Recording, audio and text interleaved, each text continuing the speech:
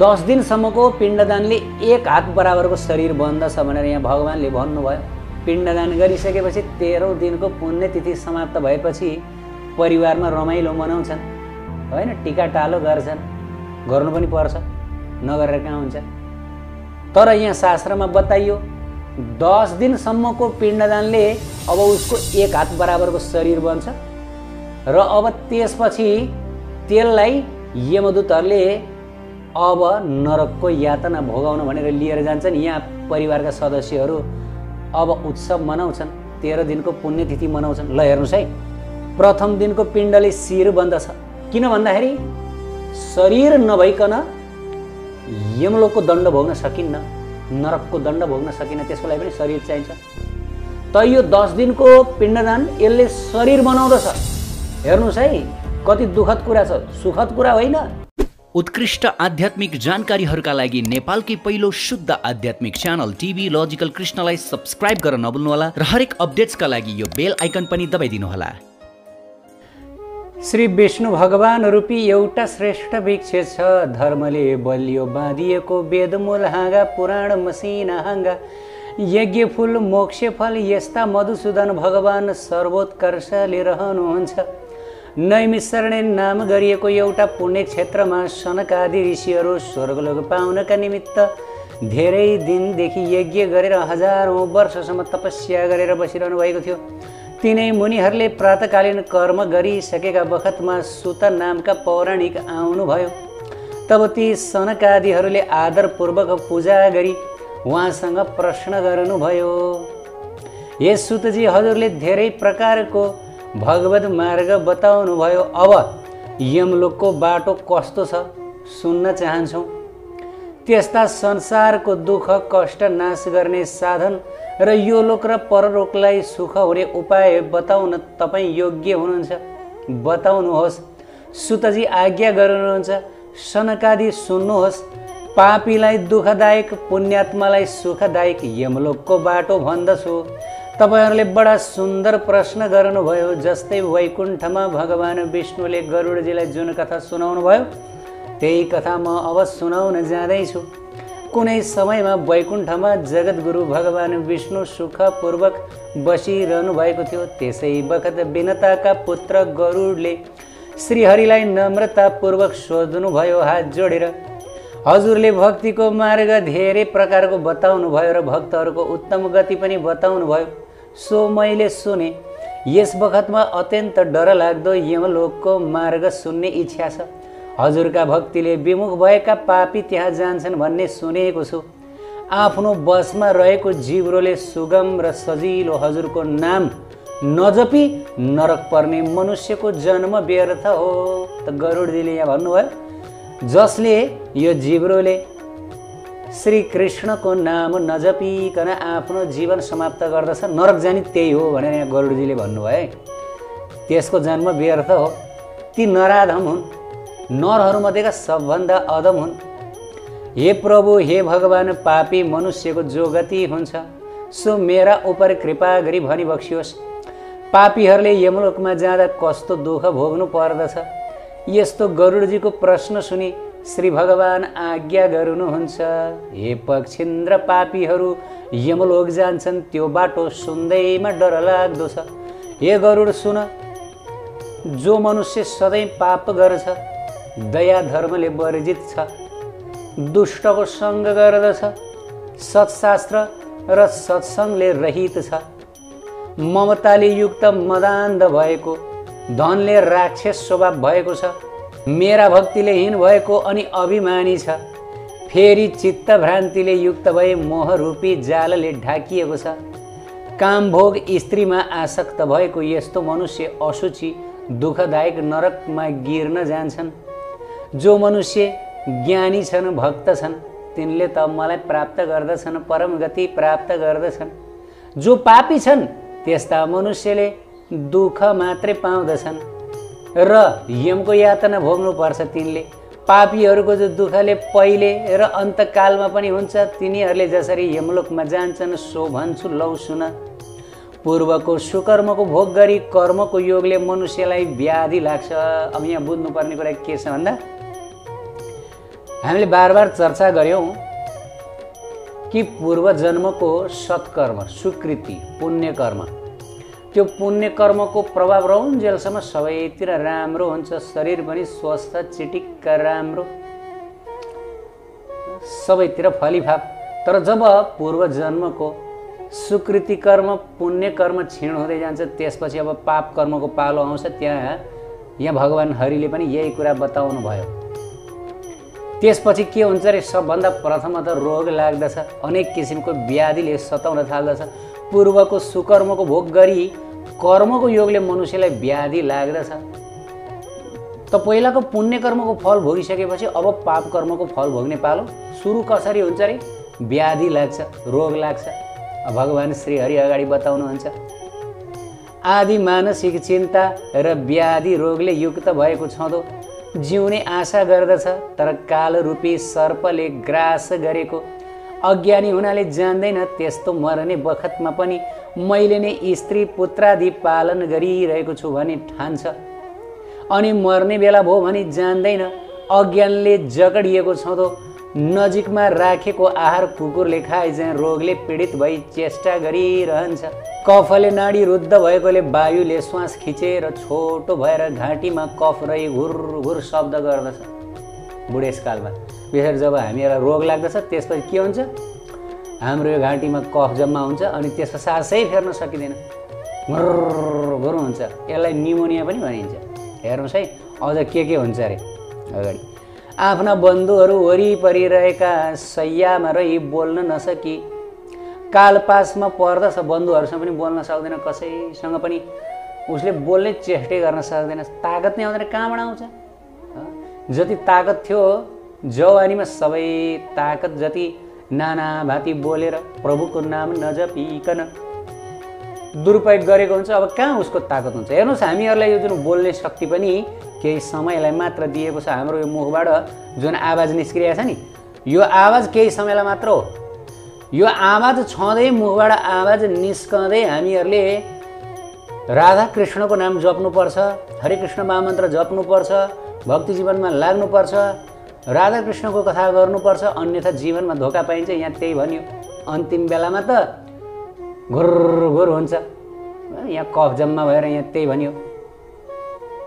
यस्ता प्रकारले आसक्त चित्त भएको इन्द्रिय नजितेको छँदो। आफ्ना स्त्री पुत्र दाजुभाइका बिचमा रुँदै रुँदै मरणमा प्राप्त हुन्छ मर्दछ त्यो हे गरुडजी अन्त्य समयमा देवताको दृष्टि प्राप्त हुन जान्छ। कस्तो भने यमदूतलाई पनि त्यसले प्रत्यक्ष देख्दछ। यमदूतलाई प्रत्यक्ष देख्दछ अरे आफ्नो अगाडि ठ्याक्कै मर्ने बेलामा। अरू बेलामा देख्दैन अरे। मर्ने बेलामा ठ्याक्कै मृत्यु हुनै लागेको बेलामा यमदूतलाई देख्दछ अरे। फेरि यो जगत र परलोकको पनि सम्पूर्ण देखि पूर्वको आफूले भोग्नुपर्ने सबै कर्म जान्दछ। तर केही बोल्न सक्दैन बिचरा। सम्पूर्ण इन्द्रिय विकल भएको चैतन्य जड भएर प्राणान्तको बखतमा यमराजका दूतलाई नजिकै बसेको देखेर छटपटाउँदछ। मर्ने बेलामा उसले यमराजका दूतहरूलाई देख्दछ अरे। यहाँ त्यही भन्यो किन देख्दछ? किनभने त्यो बेला उसले हेर्न सक्ने दैवी शक्ति प्राप्त गर्दछ अरे। नजिकै टाइम हेरेर बसिरहेका हुन्छन्। यो कुनै जोग गरेको कुरा होइन। कति बेला लाग्न सक्छ? यो त ठट्टा गरेको शास्त्रैभरि ठट्टै ठट्टा मात्र गरिरहेछ कि क्या हो भन्ने? अरे त्यस्तो होइन। हाम्रा एक शिक्षा गुरुले बताउनुहुन्थ्यो तब हुन्छ दिमाग ठन्डा जब हान्छन् यमराजले तातो तातो डन्डा। अब यहाँ त्यही भनियो। सम्पूर्ण इन्द्रिय विकल भएको चैतन्य जड भएर प्राणान्तको बखतमा यमराजका दूतहरूलाई नजिकै बसेकोदेखि छटपट गर्दछ। कहीँ चल्न नसकी जब श्वास चल्न थाल्यो तब त्यो आतुर हुन्छ। त्यसलाई एक क्षण पनि कल्प समान हुन्छ। एकदम लामो समय लाग्छ अब।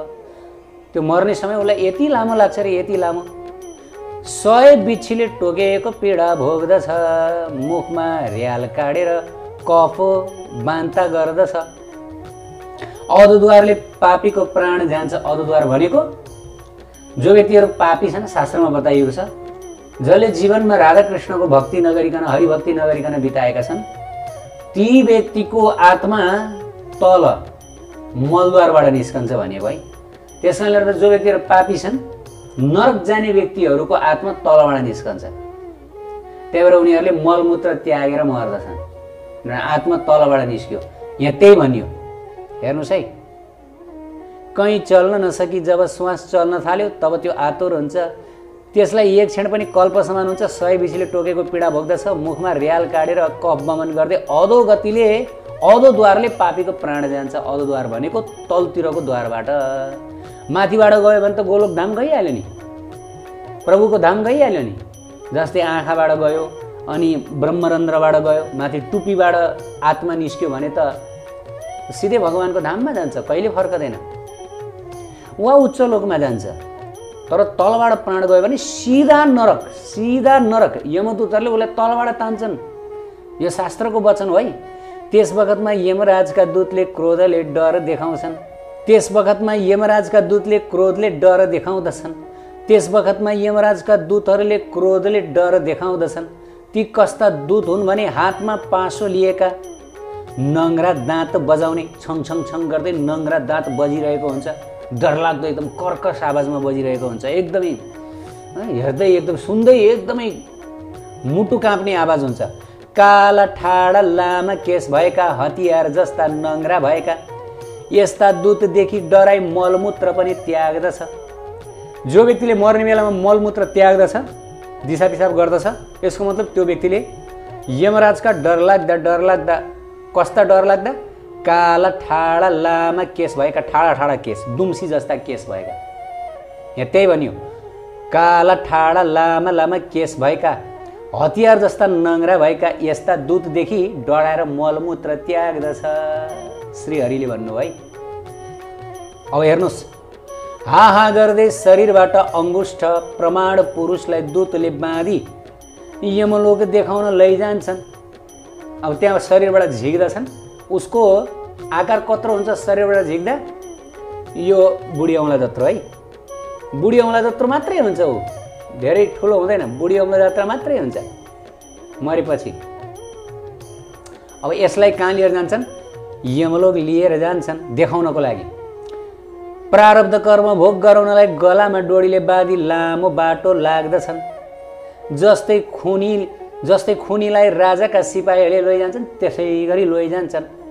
यस्ता प्रकारले लागेको प्राणीलाई दूतहरू बारम्बार नरक यस्तो छ उस्तो छ भनी डर देखाउँदै लैजान्छन्। हे दुष्ट त छिटो हिँड यमराजका घर पुगेर तँलाई कुम्बी पाग आदि नरकमा लैजान्छौँ छिटो हिँड भन्दै घिसार्दै लैजान्छन्। दुधको यस्तो वचन सुनि बन्धुहरूलाई रुँदै रुँदै छोडी हाहाकार गर्दै आफ्ना बन्धुले त्याग गरिएको छँदो। त्यस दुष्टलाई यमदूतले ताडना गर्दै लैजान्छन् दण्ड दिँदै कुड्दै कुड्दै पिड्दै पिड्दै बजाउँदै लैजान्छन् यमदूतले निर्दयी भई धम्की देखाउँदा डरले काँप्दो छँदो यमदूतले अलिकति पनि दया देखाउँदैनन्। अलिकति पनि दया देखाउँदैनन् भनिएको छ। होइन उनीहरूले त दारा किडेर तँलाई तँलाई त जानेको छौँ। हाम्रो स्वामीको ठाउँमा मात्र पुग्न। यम सदनमा मात्र पुग्न। तँलाई कस्तो कस्तो नरकमा लिएर जान्छौँ? तँलाई त तँलाई कुकुर तँलाई पापी भन्दै यमदूतहरूले यस्तो डर देखाउँछन् रे। अब यहाँ हेर्नुहोस् है यो कुनै जोग गर्ने कुरा होइन यो कुनै। एकदम सत्य कुरा हो यो। हेर्नुहोस्। यमदूतले निर्दय भई धम्की देखाउँदा डरले काँप्दो। अब उसको को छ त्यहाँ? कोही पनि यहाँ पो उसले फुर्ती फार्ती गर्न सक्छ। मेरो यस्तो छ मेरो पावर छ। मन्त्रीको पावर छ। मेरो आफ्ना मान्छे छन् यहाँ। मलाई छोएर हेर त भनेर भन्छन्। अरे त्यहाँ थोरै आफ्नो मान्छेको पावर चल्छ? को आफ्नो मान्छे? सब आफ्ना मान्छे। दाजुभाइ दिदी बहिनी आफ्नो धन सम्पत्ति पावर पोस्ट जतिसुकै प्रधानमन्त्री हो जतिसुकै राजा जोसुकै हो त्यहाँ तिम्रो केही चल्दैन। तपाईँ हाम्रो केही चल्दैन? डरले काँप्दो छँदो। आफूले गरेको पाप कर्म सम्झी दुःखदायक बाटोमा कुकुर आदि खान जान्छन्। कुकुरले टोक्दछन् फेरि अनेक कुकुरहरू हुन्छन् त्यो बाटोमा। भोक तिर्खा लागेको घाम डढेलो हावाले पीडित बाटामा ताता ताता बालुवामाथि पानी नभएको र बाँच्न नभएको पिठमा कोर्राले हानिएको हिँड्न सक्दैन तापनि करले हिँड्दछ। ल हेर्नुहोस् कस्तो डेन्जर बाटो। यमलोक जान पनि यस्तो बाटो तय गरेर जानुपर्ने। बाटामा अनेक डरलाग्दा डरलाग्दा तिखा तिखा राता राता आँखा भएका कुकुरहरूले लुछ्ने भोक लाग्ने उसलाई भोक लागे पनि केही पनि खान नपाउने। अनि घाम भनिएको छ सयवटा सूर्य उदाएको तातो घाम त्यहाँ हुन्छ। यहाँ एउटा सूर्य उदाउँदाखेरि त पसिना खलखल्ती सयवटा सूर्य उदाउँदाखेरि कस्तो घाम लाग्दो होला त्यहाँ कस्तो पोल्ला। तातो हावाले पीडित हुन्छ। बाटामा ताता ताता बालुवामाथि पानी नै नभएको। कहिले पानी नपर्ने ठाउँ कहिल्यै पानी नपर्ने। त्यहाँ कहिले पानी पर्दैन। त्यो बालुवा यति तातो हुन्छ तपाईँ हामीले बालुवा जस्तै समुद्रको किनारमा बालुवा हुन्छ त्यो बालुवामा यदि हामीले खुट्टा राख्यौँ भने आमा राख्नै सकिँदैन। एकछिन पाँच सेकेन्ड पनि राख्न सकिँदैन। पिठ्यौँमा कोर्राले हानिएको हिँड्न सक्दैन तर पनि करले हिँड्दछ। आइया आम्मा आइया बाबा मरे नि भन्दै हिँड्दछ। कैयौँ ठाउँ ठाउँमा पछारिन्छ मुर्छा पर्दछ। जति मुर्छा परे पनि हिँड्नै पर्छ। पाप रूपी अन्धकारले यमराजको घरमा लगिन्छ। यमराजको घरमा पुर्याइयो। तिन या दुई मुहुर्तमा यमलोकमा त्यो मनुष्यलाई दूतहरूले पुर्याउँछन् र नरक देखाइन्छ। हेर हेर कुकुर! हेर पापी! अहिले कस्तो कस्तो नरक भोग्नुपर्छ। हेर माथिबाट हेर! भनेर देखाउँछन्। मुहुर्त मात्रमा चाँडो नै डरलाग्दो यातना देखाएर यमका आज्ञाले दूतले आफूसँग उसलाई फेरि आकाश मार्गबाट उहीँ ल्याउँदछन् त्यही घरमा ल्याउँदछन् जुन घरबाट उसले आफ्नो प्राण त्याग गरेको थियो। आएर बासनाले बाँधिएको देहको इच्छा गर्दो छँदो दुधका पासले बाँधिएको भोग तिर्खाले पीडित भई रुन्छ। पापी जो छन् छोराहरूले दिएको जलपिण्ड खाए तापनि आतुर दानले पनि तृप्त हुँदैन। हे गरुडजी अति पापी हुनाले दानपिण्ड जलाञ्जली दिएको खाए पनि शान्त नभई सधैँ व्याकुल रहन्छ। ती प्रेतहरू पिण्डदान भएको छैन भने केही जन नभएको केही पनि कुरा नभएको जङ्गलमा धेरै कालसम्म हावा भई दुःखले घुम्दछन् अर्थात् प्रेत भएर दुःखले घुम्दछन् हावा शरीरमा घुम्दछन्। कल्प बिते पनि आफूले कमाएको कर्म भोग नभई मनुष्य देह फेरि प्राप्त हुँदैन। फल त भोग्नै पर्छ। नरक भोगिन् पापीहरूले नरक नभोगिकन फेरि मनुष्य देह प्राप्त गर्न सक्दैनन्। बरु नरक भोग्यो भने फेरि मनुष्य देह पाउन सक्छन् भनियो है। यसै कारण छोराले प्रेतत्व छुटोस् भनी दैहिक दस दिन दैहिक दस दिनसम्म क्रमैले पिण्ड दियोस् हे गरुड त्यो पिण्डको चार भाग गरिन्छ। चार भाग पिण्डमा दुई भागले शरीर बन्दछ। एक भाग यमदूतलाई एक भाग प्रेतले पाउँछ। नौ दिनसम्म दिएको पिण्डले शरीर बन्दछ। दसौँ दिनको पिण्डले सम्पूर्ण शरीर बलले युक्त हुन्छ। डढेको शरीर दस दिनका पिण्डले एक हातको शरीर फेरि तयार भई यमलोक जाने बाटोमा शुभाशुभ कर्म भोग्दछ। ल हेर्नुहोस्। दस दिनसम्मको पिण्डदानले एक हात बराबरको शरीर बन्दछ भनेर यहाँ भगवान्ले भन्नुभयो। एक हात बराबरको शरीर। अब यहाँ कुरा गरौँ। पिण्डदान गरिसकेपछि तेह्रौँ दिनको पुण्यतिथि समाप्त भएपछि परिवारमा रमाइलो मनाउँछन्। होइन? टिका टालो गर्छन्। गर्नु पनि पर्छ। नगरेर कहाँ हुन्छ? तर यहाँ शास्त्रमा बताइयो दस दिनसम्मको पिण्डदानले अब उसको एक हात बराबरको शरीर बन्छ र अब त्यसपछि त्यसलाई यमदूतहरूले अब नरकको यातना भोगाउन भनेर लिएर जान्छन्। यहाँ परिवारका सदस्यहरू अब उत्सव मनाउँछन् तेह्र दिनको पुण्यतिथि मनाउँछन्। ल हेर्नुहोस् है। यहाँ त्यही भन्यो। पिण्डले शरीर कसरी बन्दछ लौ सुन। प्रथम दिनको पिण्डले शिर बन्दछ। किन भन्दाखेरि शरीर नभइकन यमलोकको दण्ड भोग्न सकिन्न नरकको दण्ड भोग्न सकिन्न त्यसको लागि पनि शरीर चाहिन्छ। त यो दस दिनको पिण्डदान यसले शरीर बनाउँदछ। हेर्नुहोस् है कति दुःखद कुरा छ। सुखद कुरा होइन। श्रीहरि अगाडि बताउनुहुन्छ पिण्डले शरीर कसरी बन्दछ लौ सुन। प्रथम दिनको पिण्डले शिर बन्दछ दोस्रो दिनको पिण्डले काँध बन्दछ तेस्रो दिनको पिण्डले हृदय बन्दछ चौथो दिनको पिण्डले पृष्ठ अथवा पेठ्यौँ बन्दछ पाँचौँले नाभि छैठौँले कम्बर गुहिया सातौँ पिण्डले हाड मासु बन्दछ आठौँ नौ पिण्डले घुँडा पाउ बन्दछन् दस दिनमा सम्पूर्ण भोग तृष्णाले युक्त भएको शरीर बन्दछ भोग तृष्णाले युक्त भएको एक हातको शरीर भएको तेह्रौँ दिनमा यमदूतहरूले बाँदरलाई घिच्याए जसरी डोरीले बाँधेर त्यसलाई घिच्याएर लैजान्छन् ल हेर्नुहोस्।